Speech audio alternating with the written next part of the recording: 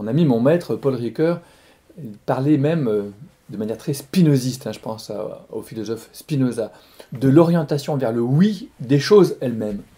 Comme si le, le, bruit de fond de l'existence, euh, de la création tout entière, c'était, c'était le oui.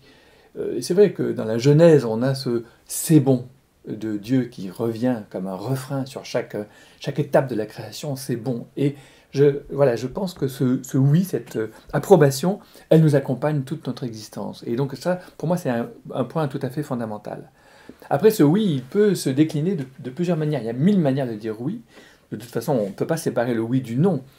Euh, on peut dire oui, même en disant non à ce qui nous nie, en quelque sorte, en refusant ce qui nous écrase, en refusant ce qui écrase les autres, en refusant ce qui écrase la fragilité, euh, la vulnérabilité euh, des êtres, du monde, etc. Donc il, peut y avoir un oui dans la révolte elle-même.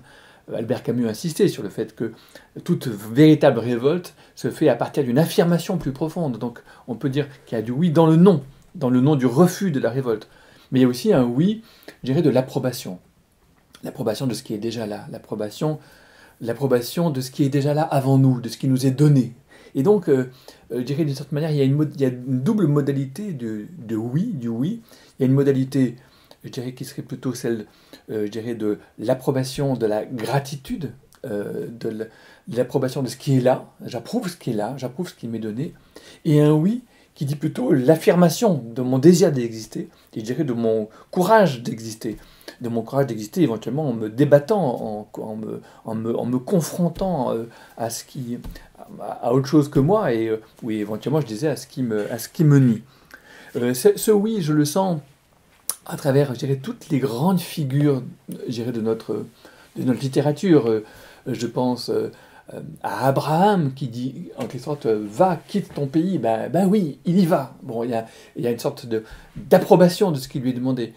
Il y a le retour d'Ulysse qui consent à retourner à Ithaque. Il y a bien quelque chose comme un oui. D'ailleurs, l'Ulysse de James Joyce euh, se termine par, euh, par ce oui, oui, oui, oui, qui est extraordinaire euh, final. Si jamais vous avez le courage de relire l'Ulysse de Joyce, vous, vous, terminez dans ce oui final, qui est en quelque sorte, dans lequel il retrouve, je dirais, la, la tonalité profonde de cette, voilà, de, de l'existence comme, comme retour.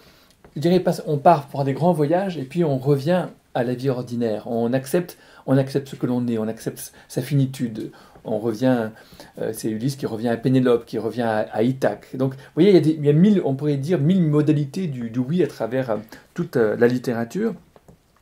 Et je dirais, si je, vais un peu, plus, un peu plus loin dans cet écart entre le, un oui gratitude, je dirais que c'est un oui qui accepte de se perdre.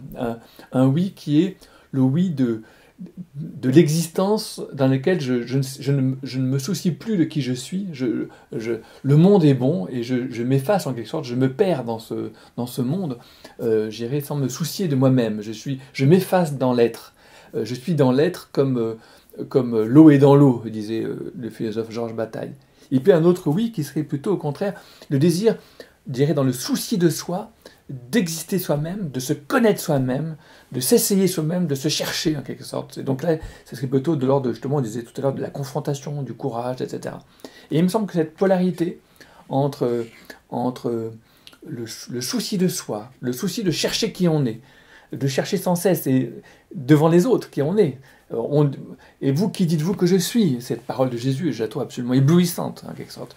Comme euh, euh, voilà, est-ce que j'accepte ce que l'on dit que je suis? Mais pas tout à fait. Il y a encore quelque chose qui, je, il y a un problème de, il y a toujours dans la vie des questions de reconnaissance, des questions de méconnaissance. On n'a jamais fini de se, de se, de se, méconnaître ou de se reconnaître. Euh, voilà. Mais d'autre côté, il y a un moment, il y a, il y a un temps pour et un temps pour. Il y a aussi un temps pour euh, l'insouci, l'insouciance pour soi, pour soi-même, et pour ce oui à, à, autre que soi-même, s'effacer dans le dévouement à autre, à autre chose que soi, devant le, la, tendresse pour, pour, les autres, pour les proches, mais aussi pour les lointains, pour les anonymes, pour les créatures. Et je dirais, voilà, cette, cette oscillation dans l'existence, je dirais, c'est les grands, pour moi, c'est la grande tonalité fondamentale de toute l'existence éthique. Et elle est là, elle est toujours là, elle est là par derrière euh, nos existences. Elle, cette oscillation entre ces deux modalités du, du oui, de l'affirmation ou de l'approbation. l'approbation qui dit oui à ce qui est déjà là, qui est la gratitude, et l'affirmation qui, est, qui essaye, qui confronte, qui compare, qui, cherche.